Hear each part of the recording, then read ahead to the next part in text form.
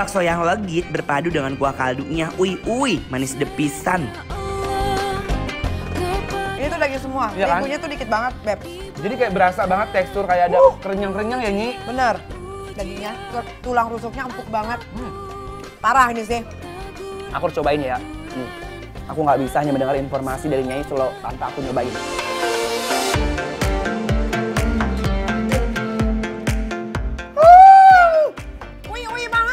Uh, jobrok-jobrok tuh, amproy. Tuh.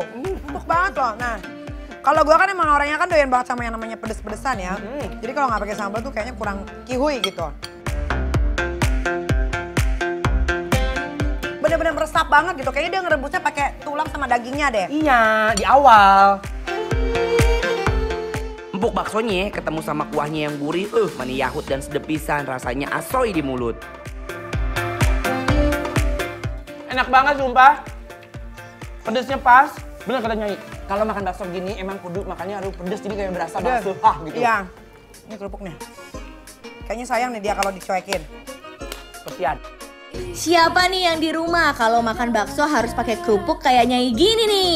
Enak kan beb? Apalagi kasih kecap biar makin manisnya kayak nyai. Bukan Ria Ada lagi. Ini namanya bakso beranak.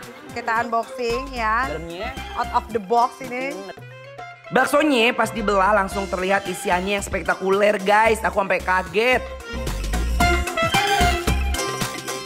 Nah, Anwar, Iya, lu kalau mau ngebedain bakso banyak terigunya atau enggak dilihat dari ini. Saat kita belah dia, Mhm. lihat dagingnya masih kelihatan merah enggak? Kalau masih Oh. kelihatan merah berarti ini lebih banyak dagingnya dibanding terigunya. Terigunya. Bakso beranaknya tuh ada bakso lagi di dalamnya, ada telur juga ekstra. Mhm, tetap aja ini juga tetelannya tuh. Tetelan tuh, tetap. banyak. Sekarang aku mau cobain bakso yang kecilnya dulu. Kayaknya rasanya sama apa enggak sama Oh, yang kalau yang ini nggak ada di dalamnya apa-apa tuh, cuman daging doang. Dia kosong. Ini namanya bakso kembang kempis.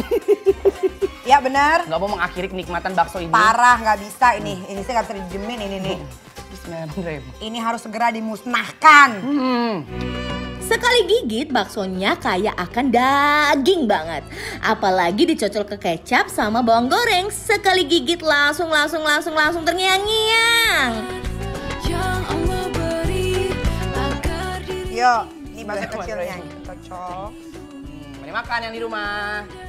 Ui ui dimakannya kayak pentol gini aja endolnya nggak ketulungan guys dia langsung turun ke lambung membuncah-buncah saus, kecap. Pasti penasaran kan bakso endol spektakuler ini ada di mana? Tenang, kalian bisa order via online kok. Langsung kepoin Instagram kita ya @bikinlaper trans TV. bagi